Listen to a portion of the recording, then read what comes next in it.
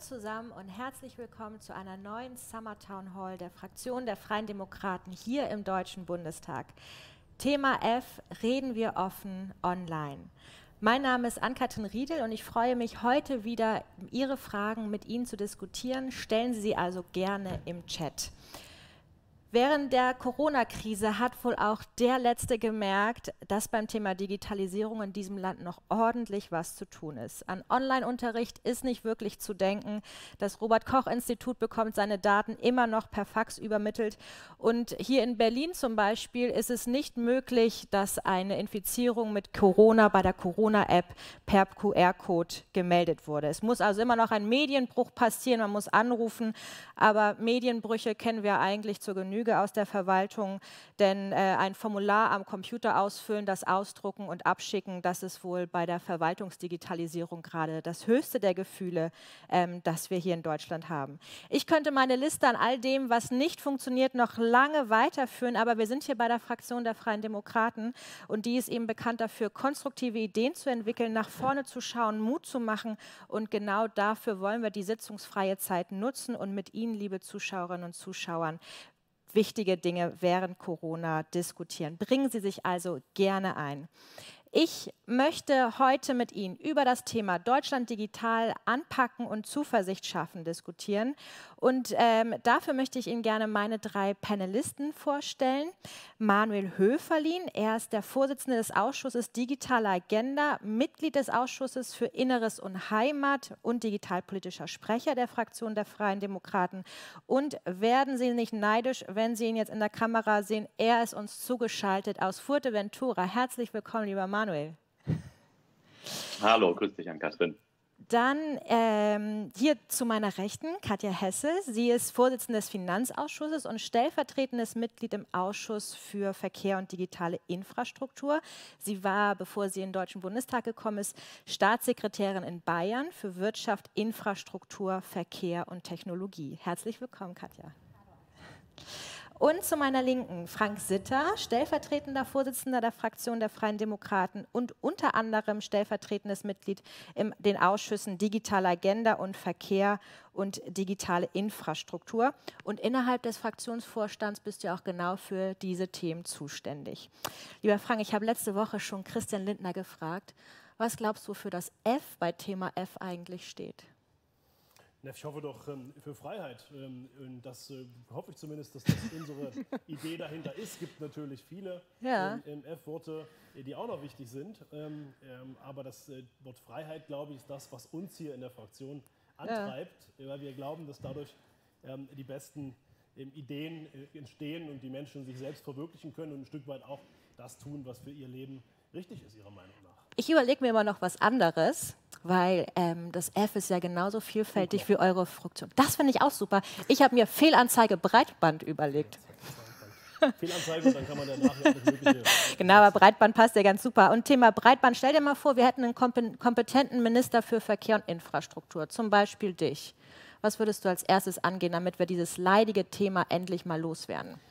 Ja, ich würde mich natürlich zuerst ärgern, dass es uns scheinbar nicht gelungen ist, so gut zu verhandeln, dass wir einen Digitalminister haben, sondern immer noch einen Minister für Verkehr und digitale Infrastruktur, weil ich glaube, ähm, das Thema äh, digitale Infrastruktur gehört nicht äh, zum Verkehr, auch wenn beides Infrastrukturthemen sind.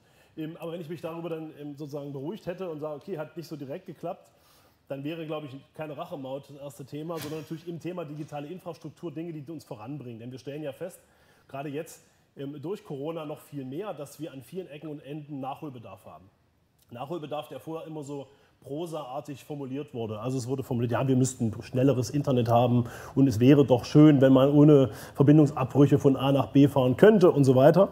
Und stellen dann fest, dass es ganz, ganz viele Dinge sind, die im Kleinen funktionieren können. Also nehmen wir das Thema Breitbandausbau. Hier gibt es innovative Technologien, zum Beispiel Microtrenching. Ich weiß nicht, ob das jemand schon mal gehört hat, wo man eben nicht Omas Rosenbeet aufhacken muss, sondern das Breitbandkabel quasi innovativ durch die Erde schießt. Hm. Was geht eigentlich schneller, einfacher Aber witzigerweise dauert es länger, bis sowas genehmigt wird, weil oft die Behörden, die das entscheiden müssen, mit solchen Technologien noch nie zu tun hatten und dann erstmal vorsichtig sind und eigentlich das Gegenteil von einem Turbo bei Digitalisierung vorankommt. Oder ich würde alles dafür tun, dass wir das Thema Mobilfunkausbau endlich hinbekommen. Mhm. In der Zeit, die die meisten hier noch kennen, ist das immer ein reiner Infrastrukturwettbewerb gewesen. Das heißt, welchen Anbieter hast du? Hast du besseres Netz oder überhaupt Netz? Das ist in der Zukunft natürlich eigentlich nicht mehr das Thema. Wir brauchen da eine, eine gute Grundversorgung und da schiebt sich im Moment jeder den Schwarzen Peter zu. Ähm, ich glaube, als ähm, digitaler Infrastrukturminister kann man alles dafür tun, die Genehmigungsprozesse wirklich zu vereinfachen. Alles dafür zu tun, dass wir die Grundstücke zum Beispiel, die wir haben, problemlos zur Verfügung stellen als Staat, eben um an den Stellen, wo wir zurzeit noch Lücken haben, auch Mobilfunkmasten aufzubauen. Mhm. Ähm, und natürlich vielleicht auch diese ganzen Prozesse der kommenden Frequenzversteigerung, die beim Mobilfunk eine Rolle spielen, etwas zu entpolitisieren und effizienter zu gestalten. Und ich glaube, da wären schon, wäre uns schon in Deutschland an vielen Punkten geholfen. Ja, das gleich aus. Super, drei Punkte. Ähm, Thema Ministerium, Manuel. Ähm, die Digitalisierung durchdringt ja nicht nur jede, alle Lebensbereiche, sondern eigentlich müsste sie auch jedes Ministerium durchdringen. Warum reicht es denn aber nicht, dass jedes Ministerium ein Digitalministerium wird? Warum brauchen wir ein Digitalministerium? Eben auch hier im Bund. Und fühlst du dich jetzt durch Corona mit deiner Forderung nach einem Digitalministerium bestätigt?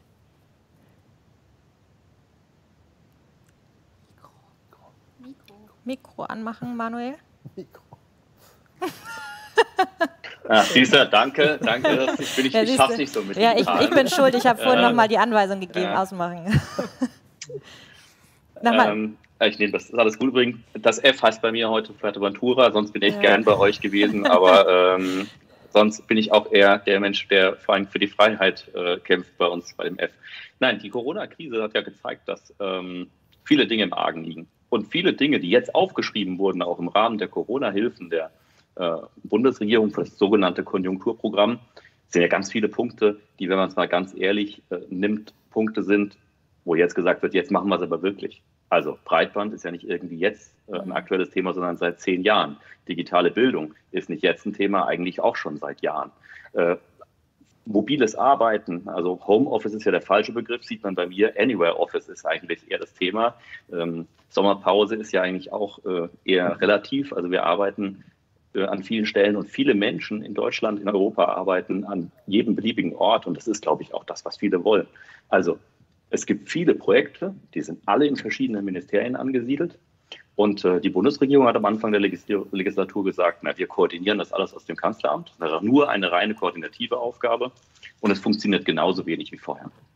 Und unsere Antwort war schon immer, wir brauchen ein Digitalministerium, das wesentliche Kernprojekte selbst steuert und sonst kraftvoll auch mit genug Leuten, mit genug Power die Koordinierung übernimmt dass nicht Projekte nebeneinander herlaufen, gegeneinander laufen oder die Ministerien sich über lange, lange Zeit aneinander reiben und die Projekte nichts werden. Und Corona hat das gezeigt. Viele Projekte sind eben nicht fertig geworden in den letzten Jahren oder könnten auch schneller fertig werden. Deswegen ist die Forderung eigentlich, nicht eigentlich, sie ist brennender denn je.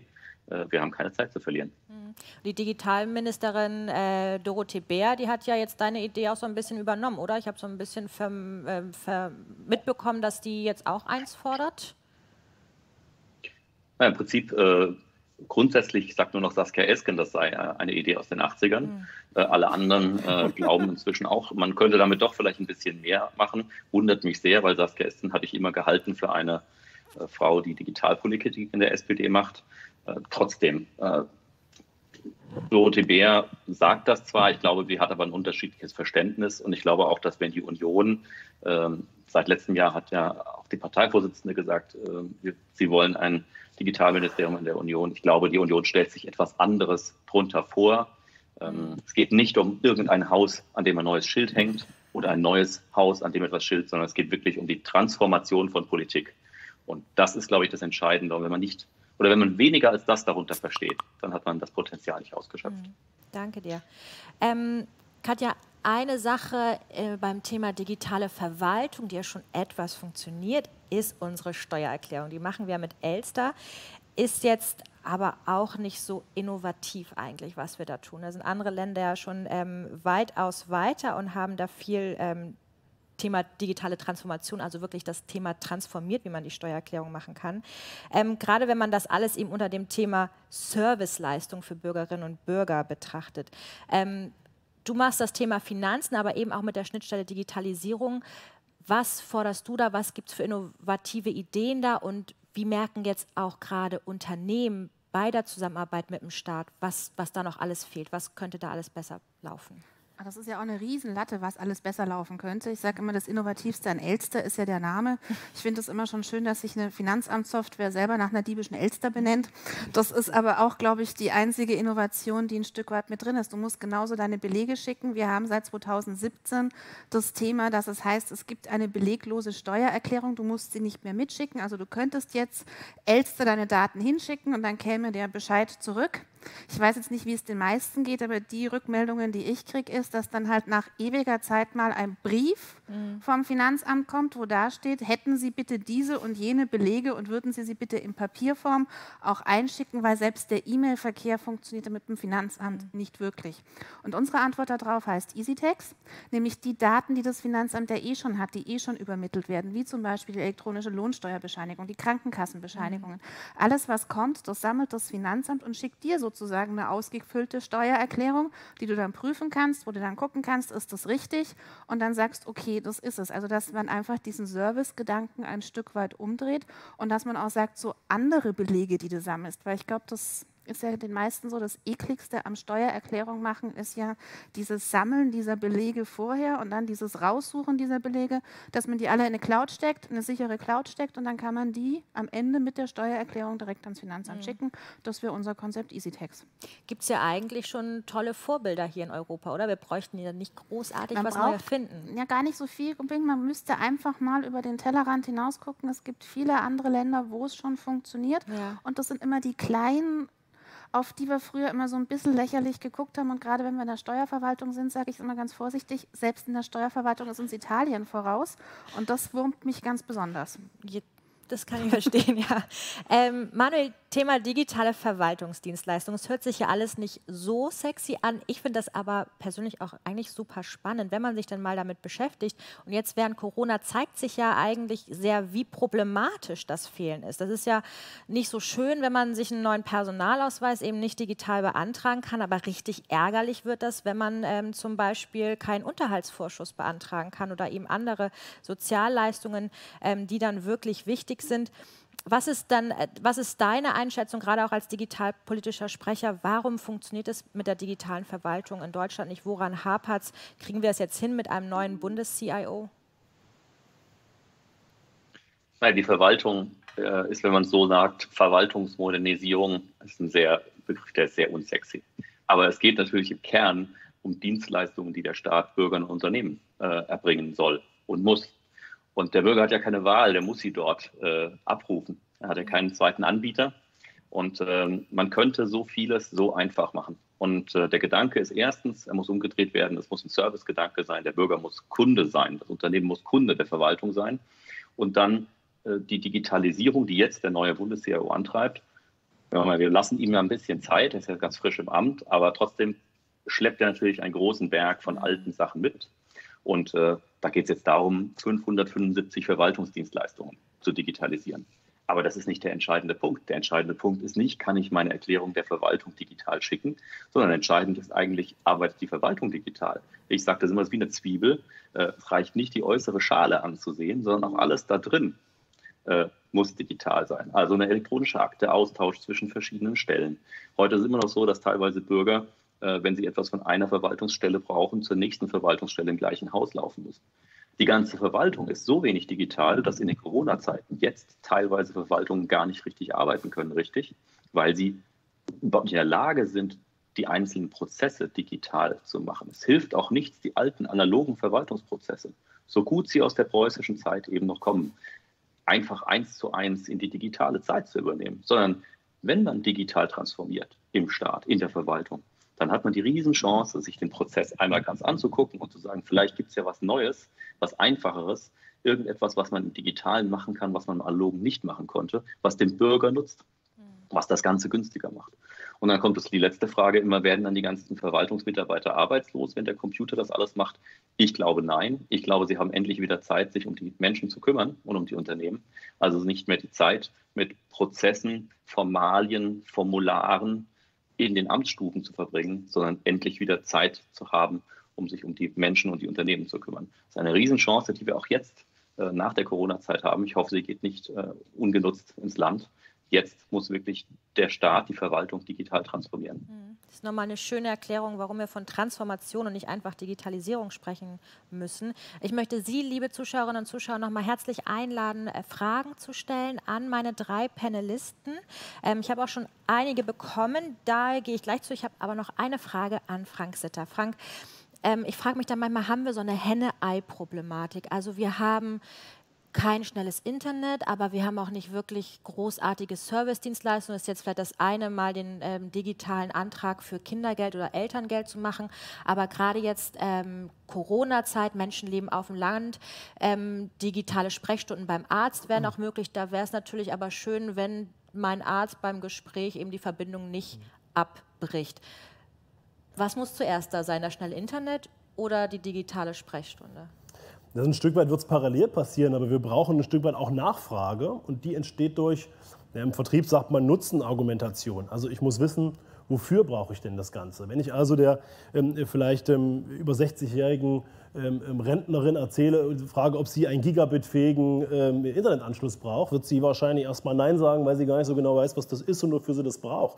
Wenn sie aber versteht, was der Nutzen dahinter ist, also ich kann ohne Kontakt vielleicht mit meinem Hausarzt mal sprechen oder sogar mit einem Spezialisten von irgendwo anders, oder ich kann ganz banal, das funktioniert auch ohne den Staat, vielleicht die Enkel sehen und Videotelefonie nach Hause machen, dann ist das ein klarer Nutzen und dann ist es da und dann steht auch äh, ein gewisser Druck aus der Bevölkerung, dass das eben nicht mehr sein kann, nur weil man im ländlichen Raum wohnt, dass da die Infrastruktur nicht ähm, zur Verfügung steht. Also ich habe das mal gelernt als ähm, Student im Handyladen. Damals hat man mir immer erzählt, du darfst nicht Produkte verkaufen, sondern du musst Nutzen verkaufen.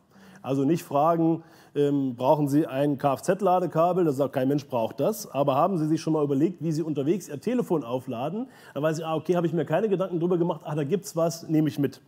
Ich glaube, so müssen wir auch in der politischen Kommunikation viel weniger uns ähm, Fakten und Zahlen und verrückte Worte um die Ohren hauen, sondern den Leuten einfach sagen, das ist eine Möglichkeit um euch eben auch anzubinden. Und die Leute merken es auch durch Corona jetzt natürlich, wo vorher jemand gesagt hat, na gut, wer gerne Videokonferenzen macht, der soll sich darum kümmern, soll er halt umziehen, stellt man jetzt schon fest, dass es nicht schön ist, der Einzige in so, einem, so einer Videokonferenz zu sein, der immer die Kamera ausmachen muss und auch sonst ständig irgendwie ausgelockt wird und wo alle schon damit rechnen. Und das ist ein Nachteil, wenn man heute am Leben nicht mehr teilnehmen kann. Zur Bildung gehen ist es genau das Gleiche. Eben, da sind wir ja auch jetzt mit so einem Turbo da in die in die Distanzüberwindung zumindest reingekommen, noch nicht in die echte digitale Bildung, aber zumindest das Überwinden von Distanz. Ähm, und ich glaube, das kann in der, der, politischen Kommunikation ganz generell helfen, mehr von Nutzen zu reden und den Anwendungsfällen, die wir haben. Das, äh, vielleicht sprechen wir nachher auch noch über 5G oder so, das ist ja auch ähnlich. Das ist die neue Technologie. Wer heute schon wirklich weiß, was die Anwendungsgebiete sind, der hat ähm, hellseherische Fähigkeiten. Wir haben so eine Idee, was es sein kann. Und das war mit 4G schon genauso. Da hat auch keiner geglaubt, dass Leute auf ihren Handys Filme gucken. Und heute ist es Realität. Also ich glaube, da hilft uns mehr Nutzenargumentation. Ja. Heute geht unser digitalpolitischer Sprecher mit 4G auf Fuerteventura äh, ins Netz und diskutiert mit uns. Wenn Sie Fragen zu 5G haben, stellen Sie sie gerne. Ich fange gleich mal an mit einer Frage hier aus dem Publikum. Äh, eine große Frage, vielleicht ein bisschen philosophisch. Ähm, die Person fragt, gibt es künftig Wohlstand nur auf digitaler Basis? Geht es überhaupt noch analog? Soll ich mal was dazu sagen? Du darfst gerne was dazu sagen. Ich glaube, ich glaube, äh, alles wird digital sein, auch wenn man es vielleicht nicht bemerkt. Also insofern ist die Frage, kann man mit Ja beantworten, weil alle, die auch nicht primär sagen, ich bin digital, haben ja was mit Digitalem zu tun. Produkte werden digital, Services werden digital. Wenn Sie in Zukunft mit einem nicht digitalen Auto, wenn Sie noch einen Oldtimer haben und Sie fahren durch die Stadt, dann haben Sie vielleicht nicht aktiv in der vernetzten Automobilwelt äh, zu tun. Aber sie nehmen natürlich an digitalem teil, weil trotzdem. Ampeln oder Schilder so funktionieren. Äh, wenn Sie irgendein Telefon benutzen, egal wie alt das ist und über wie viel Adapter es noch ans aktuelle Telefonnetz angeschlossen ist, ist es natürlich digital. Und äh, wir werden allerdings, und das ist der wichtige Punkt, wir werden natürlich noch eine ganze Weile äh, sozusagen die analoge Zweitmöglichkeit für zentrale äh, Dienste und Angebote zur Verfügung halten müssen. Also staatlicherseits sowieso, also die Verwaltung wird es weitergeben. Es wird nicht nur digitale Dienstleistungen geben, sondern man wird auch immer auch hingehen können. Und ähm, das wird es auf jeden Fall geben müssen. Und die Unternehmen werden es eh machen. Die Unternehmen wollen ja auch äh, die Kunden, die nicht rein digitale Leistungen wollen, weiter dienen können. Es gibt auch heute noch Vinylschallplatten für Liebhaber. Also äh, ja. die müsste es ja auch nicht geben. Aber es gibt eben einen Markt dafür. Es gibt Menschen, die wollen sie haben. Und ich glaube, wir sollten das ein bisschen lockerer sehen, ein bisschen optimistischer sehen und schauen, was alles zusätzlich geht und nicht über ein Entweder-Oder nachdenken. Ja, das ist, glaube ich, gar nicht so ein großer Gegensatz digital-analog, wie man manchmal meint. Ähm, nächste Frage, jetzt auch eine sehr spannende Frage, finde, die ein bisschen konkreter wird. Was kann die Digitalisierung in der Landwirtschaft bewirken? Welche Chancen sehen Sie? Ja, was kann die, also vielleicht ein, ein, ein Wort dazu, man hat gerade im Bereich Landwirtschaft, wo man ja manchmal eher so, ein, so eine, so eine ja, Stadt-Land, ähm, so ein bisschen wahrnimmt, äh, die innovativsten ähm, Geschäftsmodelle und Ideen schon, weil natürlich auch Landwirtschaft arbeiten immer weniger Leute. Wir haben da das beste Beispiel, wir bringen mal das Thema Biodiversität, das ist ein riesiges Thema und das Thema datengetriebene Geschäftsmodelle. Jetzt gibt es die ersten, ich warte da schon lange drauf, die endlich mal zum Beispiel Insektenflugbahnen messen. Also ist ja wichtig, wir reden immer von äh, Big Data und von datengetriebenen Geschäftsmodellen. Dafür ist es ja wichtig, möglichst viele Daten zu haben, damit wir auch wissen, was ist denn los auf so einem, auf so einem Feld? Ähm, und da stellen wir schon fest, dass an bestimmten Stellen wir da, sagen wir, bevor vor der Ernte so eine permanente Happy Hour haben, das heißt Blüten ohne Ende, dann wird geerntet, dann ist es auf einmal für die Insekten eine relativ schwierige Situation. Jetzt kann man mit digitalen Möglichkeiten dafür sorgen, dass so ein Feld vielleicht unterschiedlicher ähm, Bereichen zuerst gemäht wird und dann wir trotzdem eine effektive Landwirtschaft haben, auf der anderen Seite aber die Natur nicht kaputt machen, weil die die Basis für alles ist.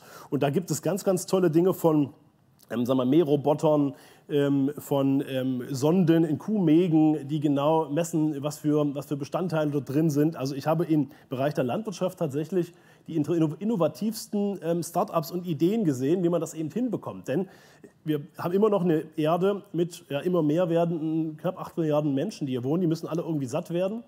Und ähm, wir haben gleichzeitig den Wunsch, ähm, sozusagen industrielle Landwirtschaft zu vermeiden, aber diesen, dieses Spannungsfeld müssen wir irgendwie auflösen. Und ich glaube, Digitalisierung kann hier tatsächlich ähm, auch einiges ähm, dafür tun, dass wir das vielleicht ähm, effizienter, aber auch umweltschonender hinbekommen. Jetzt auch schon ganz, ganz viel im Kleinen. Wenn jetzt an Melkroboter denkst, die ja schon mit Digitalisierung sind, von wegen, wir brauchen nicht 5G an jeder Milchkanne. Ne? Ich glaube, gerade da brauchen wir ganz, ganz viel Digitalisierung und auch ganz viel mobile Anwendungsmöglichkeiten. Mhm.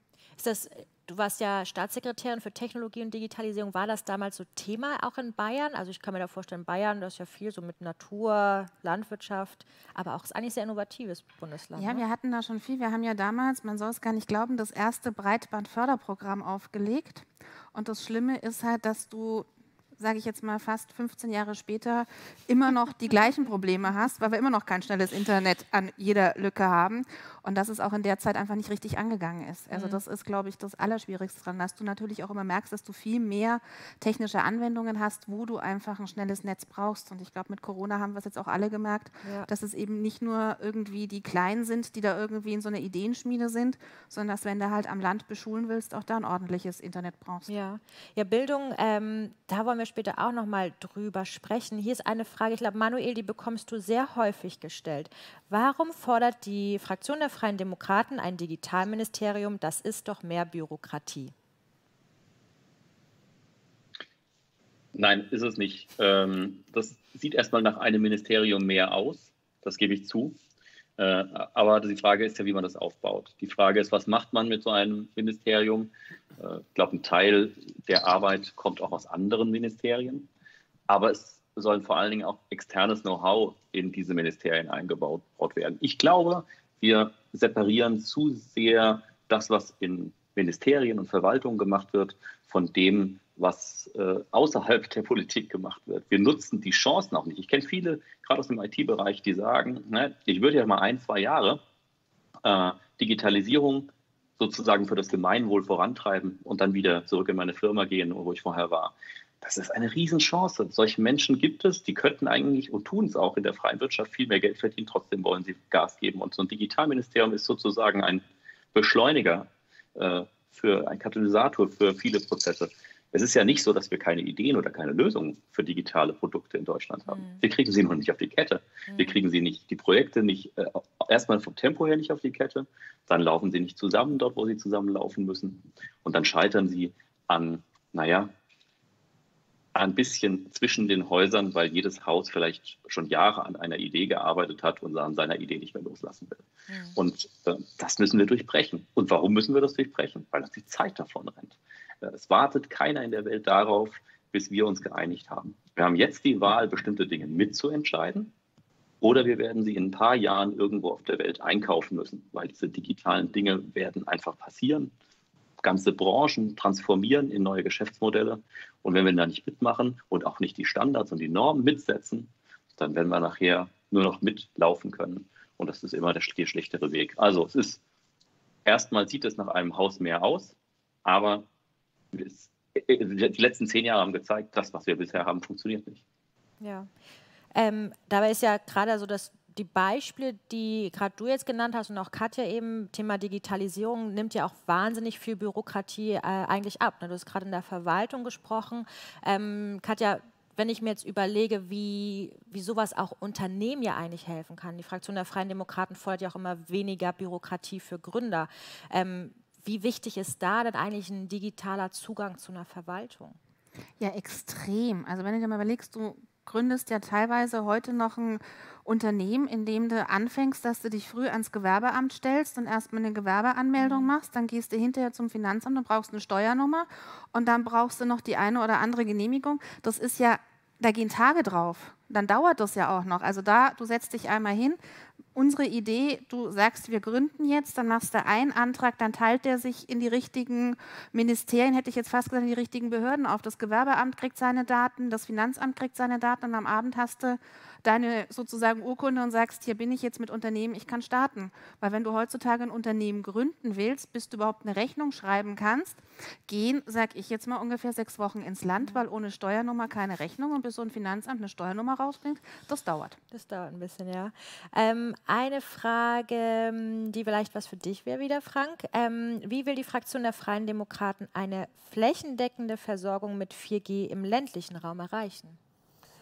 Naja, wir stellen fest, dass ähm, vielleicht so ein bisschen ausgeholt Mobilfunk am Anfang eine Technologie war, wo man gesagt hat, das ist eben nice to have für jemanden, der gerne unterwegs mal telefonieren will. So hat das alles angefangen. Da haben die im Unternehmen natürlich die Frequenzen primär da genutzt, wo auch viele Menschen unterwegs sind.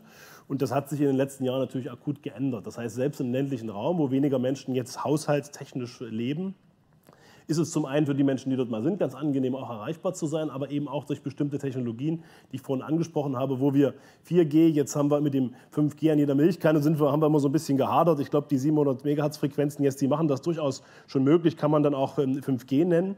Und dann muss man akzeptieren, dass es, wenn man als Staat wenn man den Wunsch hat, dass das zum, zum, zur Grundversorgung gehört, weil halt ähm, bestimmte ähm, Produkte, Dienstleistungen eben auf Erreichbarkeit ähm, fußen, dass man da in den Regionen, wo es sich nicht ähm, wirtschaftlich lohnt für die ähm, Mobilfunkunternehmen und wo auch Auflagen das nicht abdecken, irgendeine schlaue Lösung findet, diese sogenannten weißen Flecken zu, zu schließen. Wir haben da immer noch den Vorschlag der Rückwärts, Rückwärtsauktion, also quasi so das My-Hammer-Prinzip, sage ich immer. Also wer es für die wenigsten Fördermittel macht, der kriegt den Zuschlag und schließt dann ähm, ähm, zumindest den weißen Fleck. Ähm, das ist eine Idee, die unkompliziert und auch effektiv funktionieren würde. Wir müssen ja auch mit Steuergeldern sorgsam umgehen. Und danach bin ich guter Dinge, dass ohne zu viel Druck die Mobilfunkunternehmen auch ähm, die Infrastruktur teilen. Also wir sprechen davon Infrastruktur-Sharing, indem man sich entweder äh, nur den Mast teilt oder halt ein Stück weit auch ähm, gemeinsam die Frequenz dort bespielt. Ich glaube, da sind die Player auch, haben auch verstanden, dass sie ihren Kunden heute Flächendeckung anbieten müssen. Und dann sind es halt oft die vorhin schon mehr von mir angesprochenen ganz praktischen Probleme, dass einfach niemand den Mobilfunkmast irgendwo stehen haben möchte. Oder wenn er dann geplant wird, dauert es ewig, bis er genehmigt ist. Ähm, oder es gibt dann welche, die ihn dann genehmigt bekommen, stellen fest, Mensch, da kann man ja vielleicht noch Geld mit verdienen, wo vorher keiner freiwillig ähm, eben sozusagen eine Abdeckung hinbekommen hat. Hier muss einfach ein Turbo rein, den muss man sehen, wie kann man mit Grundstücken, mit schnelleren Genehmigungsverfahren dort einfach ähm, helfen, weil dann nämlich zum Beispiel auch die tollen Ideen entstehen, wo auf dem Acker ähm, Sachen passieren, die natürlich ohne eine Abdeckung nicht funktionieren werden. Mhm. Super, danke. Hat noch jemand Ergänzung? Ich glaube, das hat er ganz schön ausführlich äh, erläutert. Ähm, sehe schon, du wirst hier nächster Minister für Verkehr und Infrastruktur. Nee, nee. Ist ja viel Chaos, was man aufräumen muss. Ne? ähm, eine weitere Frage, die auch immer wieder gerne gestellt wird. Ähm, brauchen wir ein europäisches Google, Facebook etc., um mehr Kontrolle über unsere Daten zu bekommen? Manuel, die kriegst du. Ja, ist klar, dass ich die kriege. Äh, danke dir, ähm, also ehrlich gesagt wundert es mich, ähm, dass es noch äh, keine verteilte Lösung für sowas gibt. Eine nicht kommerzielle verteilte Suchmaschine zum Beispiel. Es wundert mich eigentlich. Ähm, ein verteiltes, freies soziales Netzwerk, klar, da verdient natürlich keiner was dran, aber es wundert mich eigentlich, dass die äh, Community nicht sowas schon aufgebaut hat. Ich bin davon überzeugt, dass es keinen Sinn macht und dass es auch kein äh, dass es keinen Sinn macht, dass es auch technisch nicht machbar ist, äh, wirtschaftlich nicht machbar ist, ein Unternehmen gegen Google oder gegen Facebook aufzubauen in Europa und durchzusetzen am Markt. Ähm, aber die Geschäftsmodelle der beiden Unternehmen sind nicht in, in Stein gemeißelt. Äh, wenn es etwas Besseres, Einfacheres, Schöneres, Datenschutzfreundlicheres gibt, ähm, also datenschutzfreundlicher und gleich funktionell, das ist vielleicht wichtig, ja, mhm. ähm, dann verlieren diese Geschäftsmodelle auch ihre Attraktivität. Das kann schon sein. Und wie stark diese Unternehmen sich bewegen, sieht man ja. Facebook kauft alles auf, äh, was äh, in den Markt einbrechen könnte. Google erweitert permanent seinen Markt. Und ähm, nehmen wir ein soziales Netz. Warum könnte es nicht ein soziales Netzwerk geben? Klar, es gibt Modelle, aber die sind ähm, eben nicht so elegant zu benutzen. Warum ein soziales Netz nicht äh, ohne sozusagen Unternehmen dahinter verteilt könnte man sich ja mal überlegen. Also die Internet-Community, die jetzt zuhört, äh, die kann jetzt natürlich loslegen. Ja. Ähm, dann noch eine Frage. Wie geht es mit der Digitalsteuer weiter? Will die Fraktion der Freien Demokraten Facebook, Amazon und Co. davonkommen lassen? Ich glaube, davonkommen lassen ist der völlig falsche Ausdruck. Mhm. Es geht ja bei der Digitalsteuer darum, dass sich irgendwann mal, sag ich mal, europäische Finanzminister gesagt haben, oh, das sind ganz tolle Unternehmen und wir hätten gerne was vom Kuchen ab. Du musst ja immer gucken, wo ist denn die Steuer, wo ist denn das Steuersubstrat? Jetzt wird es, glaube ich, relativ technisch, aber es ist eine Neiddebatte. Es ist ja nicht so, dass die keine Steuern zahlen, sondern sie zahlen die Steuern nicht bei uns. Mhm. Wo ist der Datenaustausch? Und ich denke einfach so, diese Digitalsteuer, wir wollen jetzt was vom Kuchen abhaben und möchten einen Prozentsatz von der Umsatzsteuer, ist nicht unser Weg. Wollen wir nicht. Wir müssen jetzt mal gucken. Es geht ja eh darum, es ist gerade auf OECD-Ebene eine große Diskussion, auch wegen den, wie ein Steuersubstrat neu aufgeteilt wird. Was macht man mit virtuellen Betriebsstätten? Da ist viel im Gange, aber einfach zu sagen, ey, ihr zahlt hier keine Steuern und bei uns nicht und das ist alles blöd und deswegen nehmen wir jetzt mal was vom Umsatz weg, ist nicht unser Weg. Ja, was wäre denn euer Weg? Unser Weg ist wirklich mal zu gucken, wie kannst du denn aufpassen, dass du, was du mit dem Steuersubstrat machst. Mhm wo muss es denn sein? Und natürlich ist es immer so, die zahlen gar keine Steuern, das ist große Steuervermeidung. Also wir brauchen ein gerechtes Steuersystem, das ist schon klar. Aber wir müssen auch gucken, und gerade wir als Exportnation, sage ich erstmal ganz froh, wenn du nämlich sagst, du möchtest von denen was abhaben, dann sagen mal die mit unseren, unsere Kunden, die im Ausland sitzen, oh, wir möchten auch mal gern was von euren Steuern mhm. abhaben. Ne? Warum ist denn Mercedes ein Unternehmen, das hier sitzt und hier Steuern zahlt, aber die Autos in China und in den USA verkauft? Da haben wir auch schon ganz, ganz viele Diskussionen. Und darum, glaube ich, ist das ein Bereich, der jetzt wirklich mal international geklärt werden muss. Mhm. Und dann werden wir uns auch darauf einigen, dass es wahrscheinlich auch auch Mindestbesteuerungssätze geben muss, dass es einen fairen Steuerwettbewerb gibt, aber dass es nach wie vor einen Steuerwettbewerb gibt. Mhm. Hast du da Hoffnung, dass das schnell geht auf dem OECD-Level? Also sie waren mal mit relativ viel Druck schnell dabei, dann kam Corona und jetzt ist Präsidentschaftswahl in den USA und meine schnelle Hoffnung ist gerade ein Stück weit wieder geschwunden. Ja, hört sich nicht so gut an. Ähm, hier noch eine Frage wahrscheinlich auch an Manuel gerichtet. Wie können Daten im Zuge der Digitalisierung besser geschützt werden? Frag, ich frage mal mit, sind sie nicht schon genügend geschützt durch die Datenschutzgrundverordnung? Im Prinzip sind Daten durch die Datenschutzgrundverordnung in Europa gut geschützt. Äh, jetzt muss die Aufsicht auch noch schlagkräftig äh, das kontrollieren können. Da haben wir ja, sag ich mal, ein bisschen Spielraum noch. Ähm, innerhalb Deutschland gibt es sehr viele Datenschutzaufsichtsbehörden, äh, in Europa auch sehr viele. Ähm, die Auslegung der Datenschutzgrundverordnung in Europa ist noch nicht wirklich einheitlich. Da gibt es äh, Institutionen für, wo sich die Datenschützer zusammensetzen und die Auslegung und auch die Sanktionierung von Verfehlungen eigentlich aufeinander abstimmen sollten. Das muss optimiert werden. In Deutschland, aber vor allen Dingen auch in Europa. Das ist der erste Punkt. Ähm, ich bin ja kein Freund von dem Begriff Datenschutz, weil mir geht es nicht darum, die Daten zu schützen, sondern äh, die Interessen der Menschen, dessen mhm. Daten das sind. Und äh, das ist, glaube ich, ein Punkt, der noch viel stärker in den Mittelpunkt gerückt werden muss. Weil viele Menschen wollen ja gar nicht, dass ihre Daten nicht benutzt werden, sondern sie wollen die Kontrolle über die Datennutzung haben, was dann Datensouveränität heißt oder ähnliches.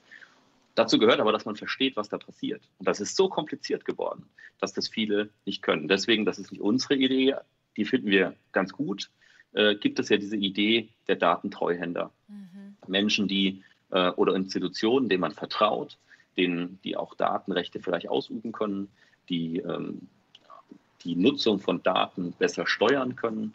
Und da gibt es, glaube ich, ein großes Potenzial. Also es ist weniger die, die rechtliche Situation, in der man theoretisch heute schon ist. Es ist mehr das praktische Durchsetzen seiner eigenen Interessen dafür, dass die Daten nachher auch so genutzt werden und wurden, wie man es selbst wollte.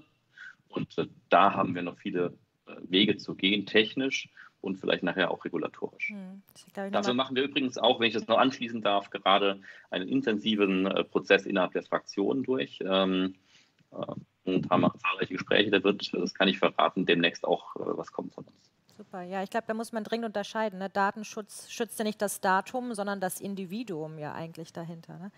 Möchtest du noch was ergänzen? Ja, vielleicht den einen Punkt, der passt da mal ganz gut, dass für die Diskussion ist wahnsinnig wichtig und die wird auch immer, immer entscheidender, auch für unser, unser Leben. Ich habe manchmal nur den Eindruck, dass der Begriff Daten dann sehr generell verwendet wird, denn ich habe gerade vorhin die Flugbahn der Insekten genannt, das sind ja. auch Daten und davon brauchen wir besser mehr als weniger.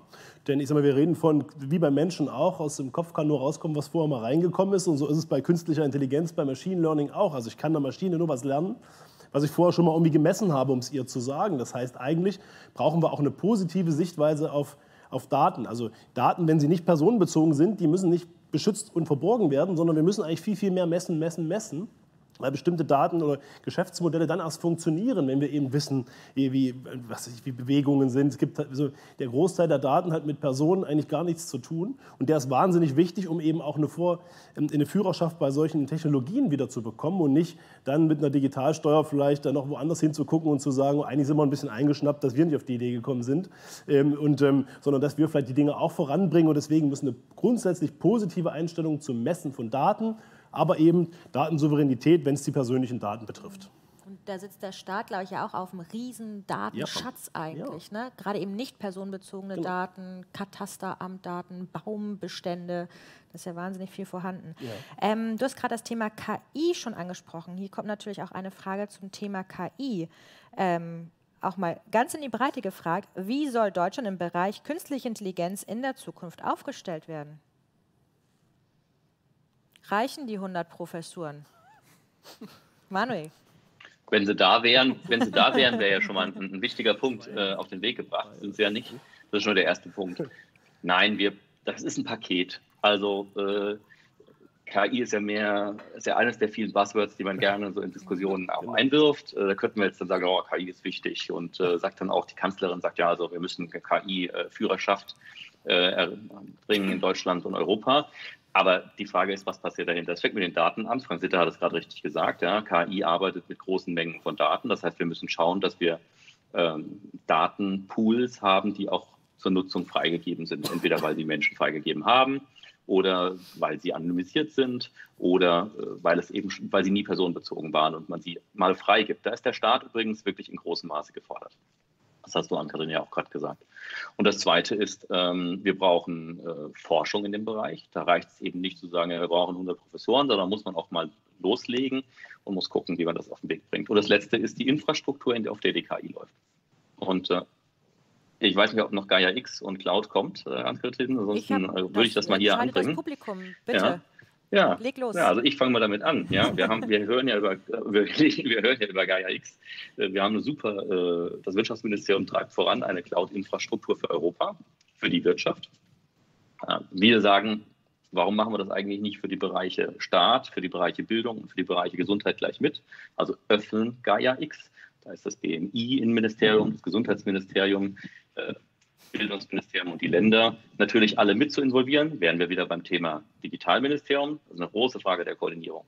Aber wenn man solch eine Infrastruktur aufbaut, und da sind die Mittelständler in Europa zum Beispiel, die vielen kleinen, mittleren Rechenzentren, ein wesentlicher Faktor, weil wir im Moment abhängig sind von großen, skalierbaren Rechenzentren, die das rechnen können. Das ist Amazon, Microsoft, große Rechenzentren der Giganten.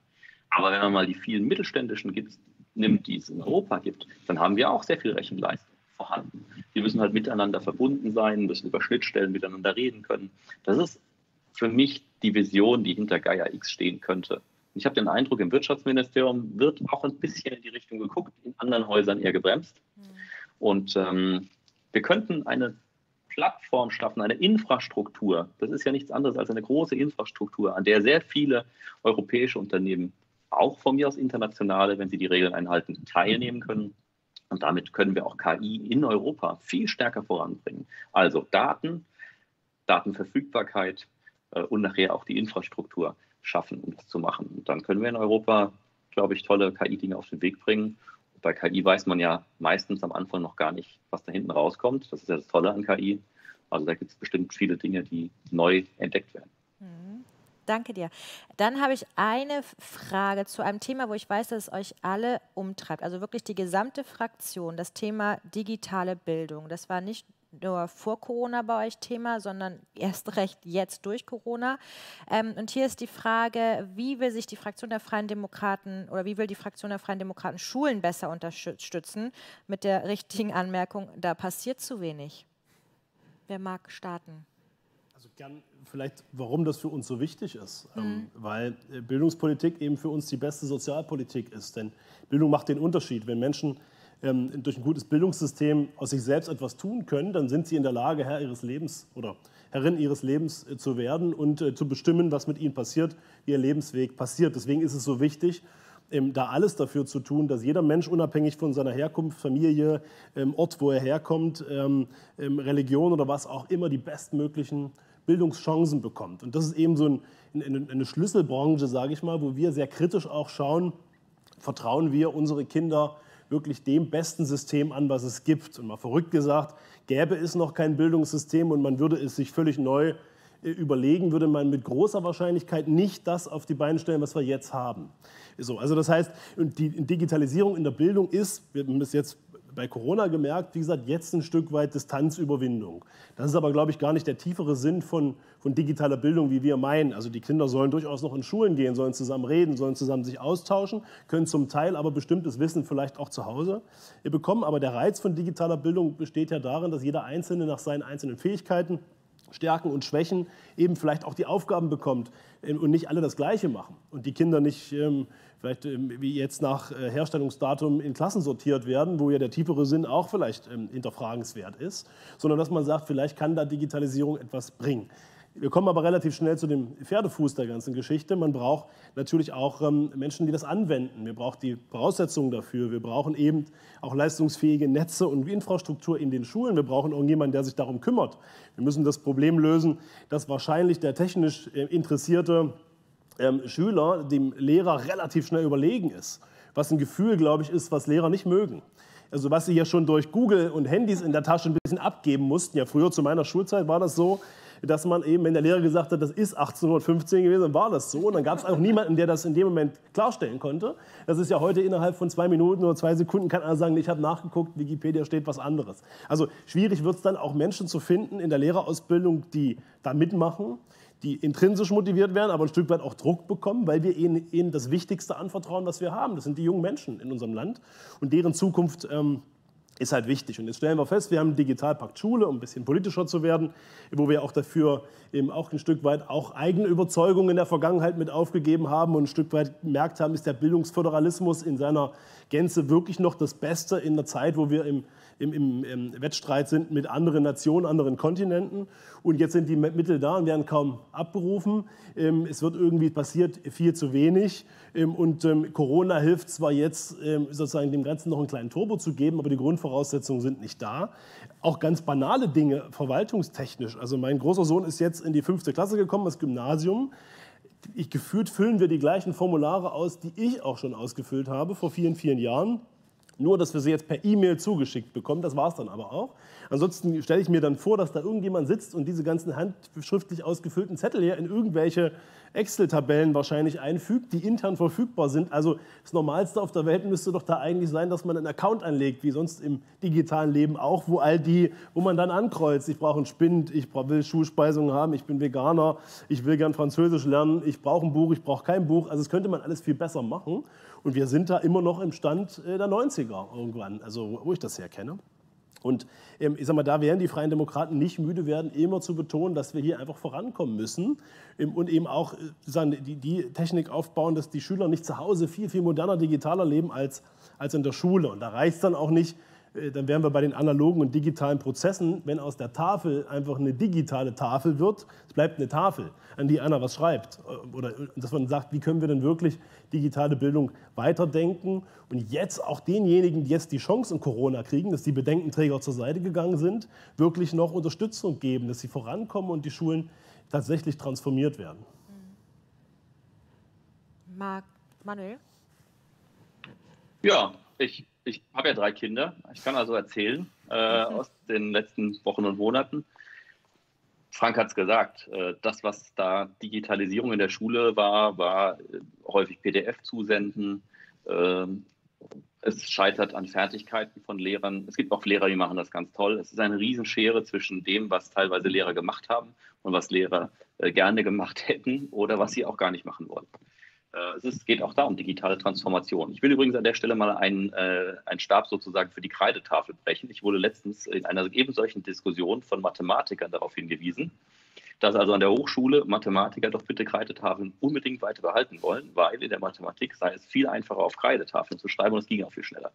Und äh, das wurde mit solch einer Vehemenz vorgetragen, dass ich doch zu dem Ergebnis komme, auch hier sollten wir vielleicht nicht das Neue gegen das Alte ausspielen, sondern einfach mal schauen, was äh, bringt denn was und äh, haben wir vielleicht im digitalen Möglichkeiten, die wir im analogen nicht haben, dann sollten wir die nutzen. Und wo analoge Methoden äh, wichtig sind, also natürlich sollen unsere Kinder weiter schreiben lernen und mit Füller schreiben lernen, äh, auch wenn sie es vielleicht nicht so sehr mehr tun, aber das ist ja auch eine Frage von Kulturtechnik. Und wer der Mathematiker lieber auf Kreidetafeln schreiben, dann sollen sie das bitte auch tun. Ja? Aber es gibt eben auch viele Dinge, der wesentliche Punkt ist, glaube ich, das angepasste Lernen, was Frank gesagt hat. Wir könnten heute mit äh, Computertechnologien im begleiteten Lernen viel besser eruieren, wie weit Kinder mit einzelnen Dingen sind und sie dann fördern. Es gibt doch nichts Schlimmeres für ein Kind, als nicht mitzukommen. Und genauso schlimm ist es übrigens auch, gelangweilt zu werden mit den Aufgaben des Lehrers. Und äh, häufig wird in Klassen eben der Mittelweg gegangen. Das Lerntempo ist die Mitte der Klasse. Das ist auch gar nicht anders möglich in, einer, in einem Frontalunterricht vor 25 Schülern. Äh, aber wenn man die Möglichkeit hat, die Schüler, die schneller sind, mit zusätzlichen Aufgaben zu versehen. Und es hängt nicht davon ab, ob der Lehrer es mitbekommt, sondern es wird eben im begleiteten Lernen festgestellt. Und andere kriegen die Aufgaben eben öfter. Dann ist das eine Frage von digitaler Transformation von Bildung. Und nichts anderes wollen wir. Auch hier geht es eben nicht um den Austausch von Papier gegen PDFs, sondern um neue Methoden. Und wir sollten beides machen. Ja, von Chancengerechtigkeit. Auch das nochmal ganz deutlich, weil die, die langsamer sind, haben die Chance damit an ihr Lerntempo was zu kriegen und die, die besser sind, die schneller sind, die werden, wie Manuel gesagt hat, die sind dann nicht gelangweilt und schalten irgendwie ab, mhm. sondern haben auch die Chance gefordert zu werden und damit haben wir auch diese Chancengerechtigkeit, die uns, glaube ich, auch ganz, ganz wichtig ist, weil damit jeder seines eigenen Glückes Schmied auch ein Stück weit ja. werden kann. Vielleicht magst du dazu mich gleich eine wirklich passende Frage beantworten. Ähm, hier wird nämlich gefragt, will, wie, wie will die Fraktion der Freien Demokraten erreichen, dass Kinder aus sozial schwachen Familien die Vorteile der Digitalisierung genauso nutzen können wie andere Kinder? Das ist natürlich die große Frage jetzt auch der digitalen Infrastruktur. Und das ist, glaube ich, bei vielen, was wir jetzt auch gesehen haben in der Corona-Krise, ein ganz großes Problem. Es sind ganz Massentausende von Schülern überhaupt nicht erreicht worden. Die haben jetzt wochenlang keinen Kontakt zu Lehrern, zur Schule, zu irgendwas gehabt. Die hatten natürlich auch nicht die Möglichkeit, wenn es zu Hause kein iPad, kein Laptop gibt, dann kannst du noch so viele Fragen zugeschickt bekommen, ob als PDF oder in Word-Datei oder wie auch immer. Die kommen dann nicht an. Und deswegen ist es ganz wichtig, dass auch alle den Zugang zu dieser digitalen Infrastruktur kriegen. Und vielleicht muss man dann auch manchmal so ein bisschen soll ich jetzt vorsichtig sagen, dieses, oh, da kommt ein böses Unternehmen und will uns irgendwas Böses tun oder sonstiges, auch da mal ein Stück weit weggehen. Also ich kann mich in Sinn, wie wir in München waren, hätten wir von Microsoft damals, darf ich jetzt sagen, Klassen ausgestattet bekommen für digitalen Unterricht. Da hat uns das Kultusministerium erzählt, also das geht ja gar nicht. Mhm. Kann ja nicht passieren. Also da verzichten wir lieber drauf. Da gucken wir mal, Mittel, Staatsmittel haben wir dafür auch nicht. Das mit der digitalen Bildung, ich meine, das ist jetzt auch zehn Jahre her, stellen wir mal hinten an. Und das ist ja auch für viele, für Kinder, die krank sind, haben eine andere Möglichkeit, an dem Unterricht mit teilzunehmen. Für gerade, wenn wir nochmal den ländlichen Raum haben. Wir haben das, das Thema, dass wir teilweise dann auch weite Wege haben. Und das macht jetzt keinen Sinn, wenn du früh eineinhalb Stunden im Schulbus sitzt und nachmittags eineinhalb Stunden im Schulbus sitzt, wenn du manche Sachen ganz anders auch aufteilen kannst. Und da muss einfach das Geld ganz gezielt auch dahin gehen, wo die sozial Schwachen sind, mhm. damit man in der digitalen Bildung wirklich auch die Chancengerechtigkeit ja. für alle haben. Das ist jetzt eigentlich eher eine Frage von Haushaltspolitik, aber ich würde jetzt mal behaupten, Deutschland ist eigentlich so ein reiches Land. Fehlt es uns wirklich am Geld dafür oder woran hapert es? Ich glaube, es fehlt uns nicht am Geld. Also vielleicht jetzt nach Corona fehlt es mhm. uns irgendwann dann auch mal am Geld. Dieser haushaltspolitische Einsatz muss jetzt dann noch sein, ne, weil wir jetzt ganz viele Schulden aufgenommen haben. Aber es fehlt uns natürlich auch daran, wo denn Mittel ankommen wollen, was wir denn damit tun. Auch an der Zielgerichtetheit. Das mhm. ist ganz viel. Und das ist ja vorhin wieder noch gesagt worden. Wir haben den Digitalpakt und die Mittel werden ja noch nicht mal ausgerufen, weil wir eine Bürokratie haben. Ich glaube, in Bayern habe ich mir erzählen lassen, ist der Antrag für die Mittel aus dem Bürokratiepakt irgendwie so um die 400 Seiten groß. Also ich meine, macht nicht wirklich Spaß. Und der ist dann wahrscheinlich auch nicht digital, sondern ich könnte mir gut vorstellen, in Bayern hast du den dann aktenordnerweise, damit du die dann auch ordentlich hinterher wieder am Schrank stellen kannst. Sehr gut. Wir haben jetzt noch. Äh, Katrin, die, ja? Darf ich ganz kurz? Das Natürlich. ist aber kein, neue, keines, das ist kein neues Problem. Diese Frage der Spaltung zwischen ärmeren äh, Menschen, die in die Schule gehen, haben wir auch jetzt schon bei Büchern und dafür mhm. gibt es etablierte Methoden. Es wird, es wird kein Kind im Moment alleine gelassen und muss im Unterricht erscheinen, ohne ein Buch zu haben. In jedem Bundesland gibt es Methoden dafür, dass die Kinder an Bücher kommen. Und ich finde, wir sollten genau diese Methoden einfach äh, auch auf die digitale Welt anpassen. Und äh, es ist nur eine Frage des Wollens. Jetzt zu sagen, wir wissen nicht, wie wir das lösen, deswegen lassen wir es, das ist, glaube ich, der falscheste Weg. Von daher lasst uns einfach die etablierten Methoden der analogen Welt hier mal Danke dir. Wir haben jetzt noch neun Minuten. Sie, liebe Zuschauerinnen und Zuschauer, sind weiterhin noch herzlich eingeladen, Ihre Frage zu stellen. Ähm, Thema junge Menschen. Ähm, es wird aber auch gefragt, wie können ältere Menschen von der Digitalisierung profitieren? Frank, du hast vorhin schon eigentlich ein ganz schönes Beispiel genannt. Hast du noch andere, wie Ältere von der Digitalisierung profitieren das können? Das ist natürlich immer, immer so schwer, wo es der, ab wann ist man älter, das wächst ja mit dem eigenen Alter sozusagen, die Sichtweise, ab wann ältere Menschen ältere Menschen sind und wann man jünger ist. Ich war früher Vorsitzender des Jungunternehmerverbandes, da ist man bis 40 dabei. Wenn man da in die Schule geht und denen was von jungen Unternehmern erzählt, kriegt man schräge Blicke. Also wo fängt es mit älteren Leuten an? Ich glaube, wir haben ja eine Entwicklung, die ein Stück weit völlig unpolitisch ist, dass einfach die Familien auch ältere Leute an digitale Technik heranführen. Eben genau wie ich es vorhin gesagt habe, nicht mit Oma brauchst du ein Smartphone, nee. Mit Oma willst du die Enkel vielleicht regelmäßig irgendwie mal so sehen. Das ist interessant. Und dann nehme ich auch, wenn ich dann ein Smartphone dafür brauche, dann, dann will ich das. Also glaube ich, da passiert schon, schon sehr, sehr viel. Ich habe vorhin Bereich, den Bereich Telemedizin genannt, aber es soll ja nicht immer nur so aussehen, als wenn ältere Leute immer nur krank sind und eigentlich nur Hilfe brauchen den ganzen Tag. Aber wenn wir das Thema digitale Verwaltung mal weiter äh, spinnen, da geht es ja an sich um sag mal, Customer, äh, Think Customer First, würde man in der Wirtschaft sagen, also Orientierung, dass es für den Bürger möglichst einfach ist. Da geht es ja auch um Lebenszeit, kostbare Lebenszeit, die jetzt einfach mal verschwendet wird. Das lässt sich natürlich auch viel einfacher machen, als wenn jemand, der älter ist, gerade im ländlichen Raum, muss man in die nächste Verwaltungsgemeinde, die ist dann irgendwie äh, eine Stunde Busfahrt im Zweifel weg, solche Dinge ähm, darüber zu, zu klären. Aber auch, ähm, wenn wir bei Bildung waren, das ganze Thema lebenslanges Lernen. Wir haben heute wunderbare Möglichkeiten, überall teilzuhaben an, an Online-Kursen, an Weiterbildungsmöglichkeiten. Ich kann mir ähm, natürlich auch ganz banal mein Fernsehprogramm selbst zusammenstellen und mich in die Skala nach Mailand einloggen und überall sozusagen an Dingen teilhaben. Und ich glaube, dieses ganze, diese ganze Potpourri an, an Möglichkeiten macht das Leben halt im Zweifel auch angenehmer und lebenswerter. Und wenn ich das kombinieren kann, vielleicht mit einer ruhigen Umgebung im ländlichen Raum, wo wir ja auch Menschen brauchen, die dort wohnen, aber dem Anschluss an die Welt tatsächlich in allen Bereichen, dann ist das Lebensqualität. Und das ist ja unsere Aufgabe quasi auch als Politiker, das Leben der Menschen möglichst einfach zu machen, sorgsam mit dem Geld umzugehen, was wir alle erwirtschaften, und ein Stück weit immer einen Schritt weiter zu sein und auch was für Politiker immer nicht leicht ist, nicht nur kurzfristige Entscheidungen zu treffen, die schnell belohnt werden, sondern auch zu schauen, auch wenn du vielleicht noch nicht verstehst, wofür wir jetzt da die Kabel brauchen, wir haben eine Idee, dass das sozusagen ähm, passieren muss. Also auch langfristig visionäre Entscheidungen zu treffen, die dann unseren Kindern das Leben einfacher machen. Mhm. Danke. Mag noch jemand was ergänzen? Sonst habe ich hier noch eine Nachfrage. Ähm, warum sind Sie gegen die Digitalsteuer? Magst du es noch etwas ausführen? Aber gerne doch. ähm, es klingt natürlich immer toll, wir nehmen denen jetzt irgendwas erstmal weg, weil die sind ja die, die großen mhm. Bösen, darum ging es ja drum. Aber wenn wir wirklich sagen, dass wir Digitalisierung voranbringen wollen, dann geht es nämlich bei der Digitalsteuer nicht darum, dass wir nur denen irgendwas wegnehmen und davon was vom Kuchen haben, diese Neiddebatte, sondern es geht darum, dass wir digitale Prozesse besteuern. Und jetzt nehmen wir mal an, wir haben gute deutsche Maschinenhersteller. Auch die guten deutschen Maschinenhersteller verkaufen inzwischen nicht nur Maschinen, sondern verkaufen inzwischen technische Serviceleistungen drumherum. Das heißt, die Maschine zieht sich ihr Update über Nacht, die ist technisch genutzt. Das ist eine digitale Leistung. Diese digitale Leistung wird dann urplötzlich besteuert. Und ich kann da mal ganz vorsichtig sagen, dann sagt der deutsche Firmenchef irgendwann mal, wird mir auch nicht richtig angerechnet. Dann nehme ich halt jetzt wieder den USB-Stick, schicke einen Monteur hin, und der macht dann das Update über Nacht persönlich. Das kann nicht das sein, wie wir uns Digitalisierung vorstellen, dass wir jetzt mit einer Digitalsteuer drüber gehen und alle die aus einer Neiddebatte heraus, die digitale Prozesse aufsetzen wollen, damit auch noch bestrafen. Mhm. Und da geht es also wirklich, es geht um die gerechte Verteilung von Steuersubstrat und es geht auch um eine gerechte Besteuerung und jeder muss Steuern zahlen. Aber die Digitalsteuer heißt, ich habe jetzt ein Geschäftsmodell, das ist digital und ich verstehe es nicht und ich kann es hier nicht richtig greifen und deswegen will ich was vom Kuchen abhaben und mache damit andere kaputt. Das ist nicht unser Weg. Mhm.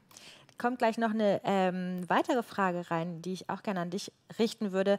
Letzte Woche hat ähm, Florian Tonka da auch schon sehr deutliche Worte zugefunden. Vielleicht magst du auch noch was zum Thema Wirecard sagen. Bei Wirecard geht es jetzt weniger um eine Digitalsteuer und ein digitales Geschäftsmodell, sondern da geht es jetzt momentan darum, dass da richtig ordentlich wohl betrogen ist und das kann keiner mhm. gutheißen und das geht jetzt bei Wirecard vor allem darum, wie man das jetzt auch aufarbeitet, wo man es eigentlich viel früher hätte sehen müssen. Und das kommt ja jeden Tag, also Wirecard ist jetzt was, was mich seit Wochen tagtäglich beschäftigt, weil jeden Tag kommt was Neues, von dem du so vorher gesagt hast, hätte ich nie geglaubt, dass es das gerade geben kann. Also das ist ganz, ganz viel. Und da muss natürlich geguckt werden, wo hat Aufsicht versagt? Wo müssen wir besser werden in der Aufsicht, dass sowas nicht passiert? Wer hat da noch mit wem irgendwie telefoniert? Und wir haben jetzt gerade im Finanzausschuss eine, eine Telco auch darüber, sitzt jetzt eine Mitarbeiterin drin, weil ich ja hier bei euch bin, damit wir auch nochmal hören, was hat denn eigentlich das BMF gewusst, was muss die BaFin machen. Aber nochmal, das ist nicht, was jetzt irgendwann sagt, wir machen ein technisches Geschäftsmodell kaputt, sondern da ist ganz ordentlich betrogen worden in die eigene Tasche. Ja. Und ich habe den Eindruck, wir wissen noch gar nicht, was da alles noch im Sommer ja. aufgedeckt wird. Passt aber zum Jahr 2020, oder? Ja. Dann habe ich noch eine Frage an Manuel und Frank. Was bringt die Digitalisierung für Gleichstellung in der Arbeitswelt? Wie können insbesondere Frauen profitieren? Ich würde die Frage mal ergänzen, wie können Männer vielleicht auch mehr zu Hause sein und sich beim Thema Kindererziehung und Haushalt mehr einbringen, sich mehr um Care-Arbeit kümmern?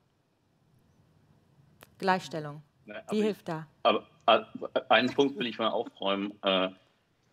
Es ist kein Spaß, und das haben, glaube ich, die meisten Männer und Frauen in den letzten Wochen und Monaten erlebt, zu Hause zu arbeiten mhm. und die Kinder die ganze Zeit um sich zu haben. Ja, also zu glauben, äh, digitaler Heimarbeit, ich sage es jetzt mal ganz bewusst so provokativ, sei die Lösung, damit man zu Hause mehr Zeit mit seinen Kindern verbringen kann, das ist, glaube ich, falsch. Aber was geht, ist, äh, dass man eben Dinge auch mal am Rande seiner Zeit zu Hause oder an jedem anderen beliebigen Ort äh, erledigen kann. Dazu gehören aber auch viele Dinge, die gar nichts mit Digitalisierung zu tun haben. Zum Beispiel unsere Arbeitsstättenverordnung. Ja, also die Frage, wie viel, wann, also wenn ich als Arbeitnehmer abends um elf nochmal E-Mail checke, kann ich morgens um sieben nicht anfangen zu arbeiten nach der Zeit. Äh, das ist auch überhaupt nicht mehr zeitgemäß. Das ist auch übrigens nicht das, was Eltern sich wünschen. Sie wollen Flexibilisierung haben ihrer Möglichkeiten. Und das heißt eben vielleicht mittags um vier oder um drei oder um zwei ihr Kind abholen zu können und dafür lieber abends nochmal aus der Ferne etwas zu arbeiten, äh, weil sie das wollen, nicht weil sie das müssen. Und Am Arbeitsschutz ist immer noch so ein bisschen dieses Arbeitnehmer-Ausbeuter-Sicht drauf. Aber ich glaube, dass viele Arbeitnehmer, viele Selbstständige, überhaupt die Menschen, die nächste Generation noch viel stärker, äh, flexibel, unabhängig arbeiten können. An jedem Ort, ob es eben in Berlin oder in Rheinhessen oder äh, im südlichen Europa ist. Ja, ist also wohl vielmehr eher die große Frage, wie wollen wir arbeiten, oder? Anstatt eine genau. Digitalisierungsfrage. Genau. Na, ich, ich, erinnere auch mal dran, dass die Entwicklung jetzt durch Corona sind jetzt viele Leute im Homeoffice. Wir hatten ja vorher die Gegenbewegung. Also wir haben ja im IT-Programmierumfeld viele Leute haben, gehabt, die gemerkt haben, Mensch, ich ziehe den Schlafanzug gar nicht mehr aus, mir fehlen die sozialen Kontakte, ich kann zwar faktisch von zu Hause arbeiten, aber so sind Coworking Spaces entstanden, weil die gesagt haben, ich werde verrückt, weil ich brauche sozialen Kontakt, ich muss mit einem essen gehen, ich will da irgendwie sitzen, andere Menschen sehen. Also auch diese Bewegung gibt es ja in die Richtung. Ich glaube, deswegen ist es wirklich flexibles ähm, arbeiten. Ich glaube, das ist auch völlig egal, ob das jetzt in, in einer Familiensituation, einer modernen Familie Mann oder Frau, Vater oder Mutter äh, betrifft. Das ist für beide, beide gleich. Wir haben die Diskussion ja auch im politischen Raum, äh, was die, das Engagement in politischen Parteien angeht, wo wir ja jetzt auch so ein paar Glaubenssätze überwunden haben mal, weil viele doch feststellen, Mensch, man kann auch in so einer vielleicht nicht jede Sitzung digital, aber bei so einer digitalen Sitzung auch mal die Dinge klären und muss deswegen nicht eine Stunde mit dem Auto irgendwo hinfahren, um dort eine Sitzung durchzuführen. Ähm, langfristig hoffen wir natürlich, dass wir Corona in den Griff kriegen und dass das in vielen Stellen so ein Katalysator war, der mal gezeigt hat, auch im öffentlichen Dienst zum Beispiel, wie Homeoffice funktionieren kann, muss man da, was ich höre von der Rentenversicherung, sich Akten Akten mit nach Hause nehmen und wenn man eine vergessen hat, kann man nicht weiterarbeiten und dann den Rechner mitnehmen, was da nicht alles gibt, sondern dass wir da Möglichkeiten schaffen. Und dann ist es Flexibilisierung, aber ja, auch das ist ja ein Ergebnis von Corona gewesen. Ähm, dass diejenigen, die jetzt die Kinderbetreuung und Homeoffice hatten, sozusagen dem Ende schon entgegensehnten und andere, die da vielleicht nur das Homeoffice hatten, ansonsten ein bisschen weniger Reisezeit, dass die jetzt alle eine neue Fremdsprache gelernt haben und all die Bücher mal gelesen haben, die irgendwo standen. Das gönne ich denen im Übrigen. Aber das sind halt sehr unterschiedliche äh, Ansätze. Und wie gesagt, äh, deswegen äh, glaube ich, dass die Digitalisierung uns da an vielen Stellen helfen kann aber grundsätzlich wieder so dieses, ähm, dass Menschen miteinander agieren, natürlich auch eine große Rolle spielen muss, auch analog. Super. Äh, wir sind auch schon am Ende unserer Zeit und äh, wir haben jetzt wahnsinnig viele Themen hier äh, besprochen zum Thema Digitalisierung, was ich wunderschön fand, wenn ich das mal äh, zusammenfassen kann, dass bei euch ähm, mindestens unterschwellig und ich möchte das jetzt einfach nochmal deutlicher sagen, rausgekommen ist, dass es beim Thema Digitalisierung nicht um die Digitalisierung von sich ging oder an sich ging, sondern dass der Mensch einfach immer im Mittelpunkt stehen muss. Ne? Wie kann die Digitalisierung dem Menschen dienen? Ähm, Im Thema Bienen, wie können wir unsere Lebensgrundlage erhalten? Wie können wir eben besser mit der Verwaltung agieren? Ähm, wie können wir aber auch eben ähm, Home, nicht Homeoffice, aber Arbeiten und Erziehung in Einklang bringen. Vielen Dank, Katja Hessel, Frank Sitter und Manuel Höferlin zugeschaltet. Vielen Dank auch an Sie, an alle Zuschauerinnen und Zuschauer für Ihre Fragen, die Sie gestellt haben. Ich würde mich freuen, wenn Sie nächsten Donnerstag wieder mit dabei sind, wenn wir hier zum Thema F offen und online diskutieren. Machen Sie es gut bis dahin, genießen Sie noch den Abend und auf Wiedersehen. Tschüss.